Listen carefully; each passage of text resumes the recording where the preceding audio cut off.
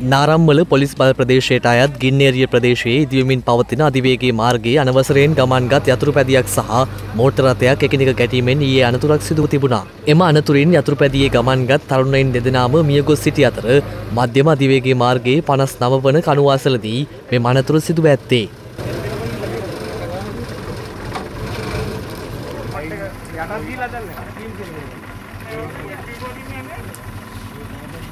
අනතුරු සිදුවන අවස්ථාවේදී මෝටර් රථයේ පස් දෙනෙකු ගමන් කර ඇති අතර මෝටර් රථයද ගිනිගෙන විනාශ වී තිබුණා. කෙසේ වෙතත් අනතුරින් පසු මෝටර් රථයේ ගමන්ගත් දෙදෙනෙකු අත්අඩංගුවටගෙන ඇති අතර සෙසු සැකකරුවන් තිදෙනාද අද පොලිසිය වෙත බාර වී තිබෙනවා. මේ සම්බන්ධයෙන් අදහස් දක්වමින් පොලිස් මාධ්‍ය ප්‍රකාශකවරයා සඳහන් කළේ මින් ඉදිරියට ඉදිකරමින් පවතින මධ්‍යම අධිවේගී මාර්ගයට අනවසරයෙන් කිසියම් වාහනයක් ඇතුල් කළහොත් ඒ සම්බන්ධයෙන් නීතිමය පියවර ගන්නා බවයි. මෙය තවමත් විවෘත කර නැති අධිවේගී මාර්ගයක්. යතුරු පැදියක් සමග තරගයට යාමේ ප්‍රතිඵලයක් ලෙස මෙම අනතුරු සිදුවා දැයි සැකයක් පවතිනවා. මේ සම්බන්ධයෙන් විමර්ශන පවත්වනවා. යම් කෙනෙක් විවෘත කර නොමැති මධ්‍යම අධිවේගී මාර්ගයට මින් පසුව යම් මෝටර රථයක් ඇතුල් කරහොත් ඔවුන් අත්අඩංගුවට ගනු ලබනවා. ඒ වගේම මෙම මෝටර් වාහනය අධිකරණය වෙත ඉදිරිපත් කිරීමට කටයුතු කරනු ලබනවා. මේ සම්බන්ධයෙන් දැඩි ක්‍රියාමාර්ග ගැනීමට බලාපොරොත්තු වෙනවා. ඒ වගේම ඊයේ දින මාර්ග යානතුරු පහකින් පුද්ගලයන් මියගොස් තිබෙනවා.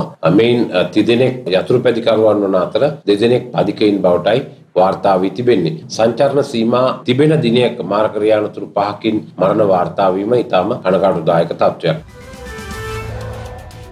මෙවැනි වැදගත් පුවත් නැරඹීම සඳහා ශ්‍රද්ධා TV නිවස් YouTube චැනලය සබස්ක්‍රයිබ් කර සීනුව සලකුණ වන්න.